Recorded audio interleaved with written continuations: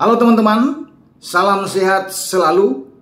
Ketika saya mengupload uh, konten video ini, saya sudah hari yang kedua berada di kota Manado, ya, sedang berkunjung ke orang tua dan saya harus berbicara tentang kelanjutan dari babak 16 besar atau perdelapan final di leg kedua UCL yang berlangsung pada Kamis dini hari. Dan ada dua hasil yang berbeda dari perkiraan sebelumnya. Salah satu yang di luar dugaan adalah tumbangnya La Vecchia Signora, sinyonya tua Juventus yang tumbang di kandang sendiri dengan angka yang sangat telak. Ini tidak bisa yang menduga bahwa Juventus yang diasuh oleh Massimiliano Allegri kalah dengan 0-3. Mereka tidak mampu membuat sebiji gol pun ya ke gawang Villarreal. Bahkan Villarreal bisa berpesta gol walaupun itu terjadi di 14 menit terakhir. Ya, sejak menit ke-78 gol dari penalti Gerard Moreno yang dilanjutkan dengan Pau Torres dan dikunci dengan penalti juga dari Groneveld, pemain depan dari Villarreal. Ini kejutan besar ya. Karena saya sendiri juga mengunggulkan Juventus untuk bisa lolos kalau bisa melihat bagaimana mereka punya kedalaman skuad yang bagus, bermain juga di stadion Juventus markas mereka. Apalagi Juventus sedang bagus juga di Serie A. Namun akhirnya terjungkal dari Villarreal. Ya. Dan Villarreal sudah mengenapkan bahwa Spanyol ini hadir dengan tiga klub di babak perempat final. Sebelumnya Real Madrid sudah mengikuti satu tiket dan diikuti oleh ATM, Atletico Madrid. Dan sekarang Villarreal, tim asuhan Unai Emery ini, ya bisa membuka juga harapan bagi Spanyol meraih gelar di UCL dengan tiga wakil mereka. Ya. Selamat buat Villarreal. Namun tidak ketinggalan juga Inggris mewakilkan tiga klubnya ya untuk hadir di babak perempat final setelah Chelsea The Blues menang kembali 2-1 atas Lille di Stadion Pierre Mauroy ya, di kota Lille di utara Prancis. Ya, ini kemenangan kedua yang diraih Chelsea setelah di Stamford Bridge. Mereka menang dengan clean sheet 2-0 dan dilanjutkan dengan 2-1 setelah bangkit dari ketertinggalan mereka. Saat Burak Yilmaz membuat gol dari penalti untuk Lille namun direspon dengan 7 menit kemudian ya di akhir babak pertama gol balasan dari Christian Pulisic.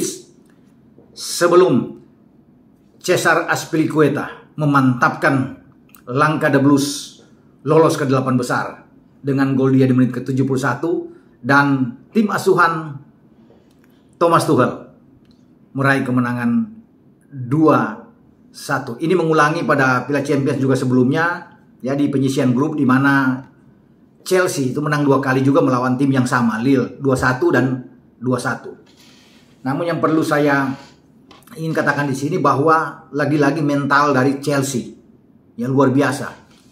Mereka itu bangkit dari ketika gawang dari Mendy kebobolan dan tidak perlu lama untuk bisa menyamakan kedudukan. Di babak pertama memang mereka kelihatan kurang begitu bagus bisa bermain sebelum bisa mendapatkan ritme permainan mereka setelah menyamakan satu-satu dan di babak kedua ini jauh lebih bagus oleh Chelsea dan diakui juga oleh Thomas Tuchel. Bahkan dalam 20 menit pertama Tuchel juga menilai tim ini tidak begitu sesuai dengan keinginan dia. Ya, kurang bagus. Ya, dia salah menerapkan sebuah taktik dalam 20, eh, 20 menit pertama. Ya, sebelum mereka berkembang dengan baik. Dan Tuchel menyorot bagaimana mental dari pemain-pemain yang luar biasa. Tidak terpengaruh dengan situasi yang ada sejauh ini yang kita tahu bersama. Bagaimana keadaan dari Chelsea ya.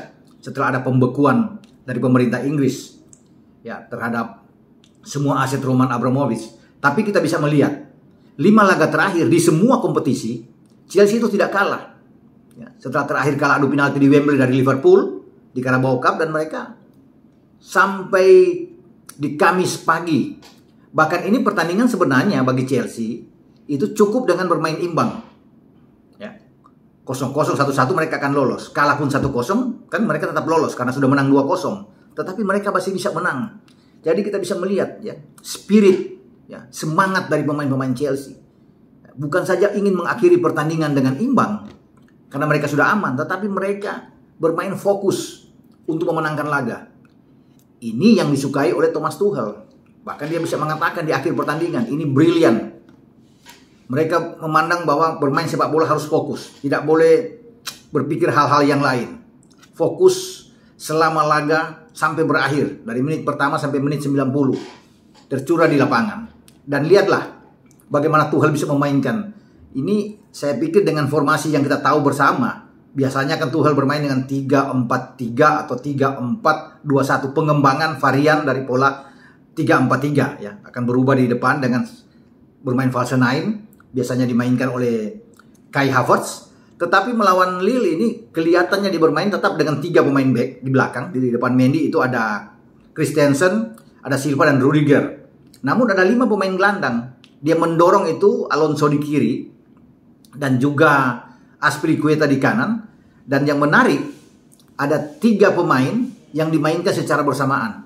Ini mungkin jarang terlihat ya bahwa Ngolo Kante, Jorginho dan Matteo Kovacic bermain beriringan lapangan. Biasanya kan hanya dua di sini yang akan ditempatkan, entah Jorginho dan Kante, Kante Kovacic atau Kovacic dan Jorginho. Ini yang selalu dimainkan, tapi tiga-tiga dimainkan. Kalau melihat dari sini, dengan tiga pemain ini bermain, ini yang menyulitkan. Dan Tuchel memang sangat jeli tahu bahwa Lille itu punya dua gelandang yang kuat, yang hebat, Zeka dan Benjamin Andre. Ini yang menopang Burat Yilmaz di depan dan Jonathan David, penyerang terbaik dari Lille. Sehingga yang perlu dilakukan adalah menguatkan di tengah dan Matteo Kovacic itu bisa mengontrol keberadaan eh, keberadaan dari seorang Benjamin Andre dan itu berhasil dijalankan dengan baik termasuk dengan Kante. Ya yang melihat pergerakan selalu dari Seka ya. Sehingga dua pemain ini tidak bisa berbuat banyak. Itu yang membuat Lille ini sulit masuk lebih jauh ke dalam pertahanan Chelsea. Bahkan satu-satunya on target yang dimiliki Lille itu dari 8 percobaan mereka menembak itu terjadi dengan hanya gol dari titik putih yang dilakukan oleh uh, Yilmaz, Burak Yilmaz. Setelah itu mereka tidak mendapatkan apa-apa. Itu begitu kuat ya. Lini tengah dari Chelsea ini. Hanya dua yang ada di depan yang ditampilkan ya. Termasuk dengan Kai Havertz tentunya. Ya yang yang ada di sana dengan Pulisic. Jadi ini suatu taktik yang dikembangkan oleh Thomas Tuchel. Walaupun ada lima pergantian di babak kedua yang dilakukan termasuk uh, Mason Mount Mas uh, dimainkan ya, Hakim Ziyech juga ada, uh, Loftus Cheek bahkan Lukaku ikut dimainkan di sana dan ada Caloba. Tetapi kalau dari babak pertama di starting eleven saya lihat memang ini luar biasa ya. Tidak selalu yang kita bisa melihat bahwa tiga pemain ini serentak dimainkan. Mungkin ada satu dua kali tapi kalau bermain di pertandingan ini karena bagi Tuhan mereka tidak boleh kalah. Walaupun hanya imbang yang mereka cari, tapi tidak memang harus bisa menang. Makanya mereka tahan di tengah ini sulit berbuat banyak, nggak berkutik. Itu yang membuat uh, yang bikin rasa frustrasi dari Jonathan David, ya, sehingga ia ditarik keluar oleh Jocelyn Governor, pelatih dari Lille, karena tidak bisa mendapatkan satu on target pun dari Jonathan David yang memang diandalkan. Inilah kesulitan-kesulitan yang dihadapi oleh Lille menghadapi Selain lini belakang Chelsea yang kuat di antara Rudiger, Silva, dan Christensen, mereka punya tiga gelandang yang luar biasa, ya, yang memainkan peran dengan sangat baik. Dan rencana Tuhan memang berhasil, terutama di babak kedua. Mereka mampu mengontrol laga, sehingga tidak ada lagi gol penyama kedudukan dari tuan rumah. Chelsea harus bisa mempertahankan kemenangan yang mereka raih ini, ya, untuk mereka membawa pulang ke London memberikan mereka rasa percaya diri menatap di laga lapan besar nanti siapa pun lawannya. Setelah pertandingan ini konsentrasi ke depan adalah jumpa Middlesbrough di perempat final Piala FA di mana Chelsea juga harus bisa membooking satu tiket bisa lolos ke babak semifinal. Ini target ke depan karena mereka sudah bisa melewati laga melawan Lille. Jadi mereka melengkapi dengan gugurnya MU. Kini tinggal Chelsea yang mendampingi City dan Liverpool. Sama seperti tiga wakil Spanyol. Jadi ada 8 tim yang masuk ini. Dua yang bukan dari Spanyol tentunya dan Inggris ada Bayern Munchen. Ya. Ini tim favorit saya yang saya berharap Munchen bisa mengganggu keberadaan wakil-wakil Inggris dan wakil Spanyol. Satu lagi adalah Benfica yang membuat kejutan menjungkalkan Ajax di Amsterdam Arena.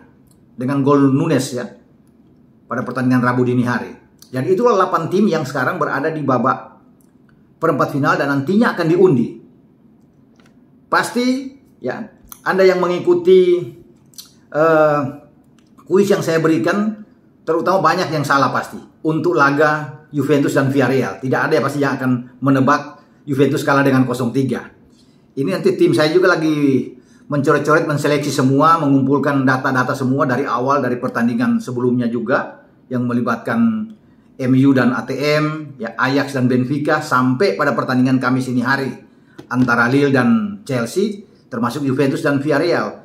Mungkin Anda yang menjagokan Chelsea, ya, terutama penggemar Chelsea ini, pasti ada banyak juga yang menebak Chelsea menang, ya, dengan skor 2-1. Nah, kita akan tunggu, akan diumumkan pada pekan depan sebelum giveaway dari PT SKA Prima Eva ini dikirim kepada Anda semua, baik kaos Leones maupun uh, sendal yang disiapkan dari Verde 3 ya. Antara warna hijau, hitam dan marun. Jadi kita akan lihat ini. Siapa yang menebak dengan benar Chelsea? 2-1 loh. Chelsea bisa menang. Ya. Kalau Lille menang 1-0, mungkin banyak juga yang meleset. Ya. Tetapi kalau Chelsea menang, saya rasa ini banyak. Ya. Saya juga belum lihat ya mensortir tentang berapa banyak yang menebak Chelsea dengan benar, berapa banyak yang menebak Villarreal bisa menang dengan 3-0, termasuk berapa banyak yang menebak ATM bisa menang melawan MU setelah dan juga Benfica mengalahkan Ajax. Jadi sekali lagi saya bisa mengatakan di sini selamat ya buat Villarreal dan buat The Blues Chelsea yang melenggang ke delapan besar undian segera dilakukan. Kita akan lihat siapa melawan siapa. Ini rame. Delapan tim yang punya kualitas yang sama saya pikir ya untuk bisa ini bertarung di babak perempat final. Bisa saja bertemu ini ya. City melawan Liverpool bisa saja. City melawan Chelsea, Liverpool melawan Chelsea. Ya. Kemudian Villarreal melawan Madrid atau ATM melawan Madrid. Ya. Duel derby kota Madrid atau ATM dengan Villarreal bisa juga City ketemu dengan Bayern Munchen atau Bayern Munchen dengan Liverpool atau Madrid dengan Bayern Munchen.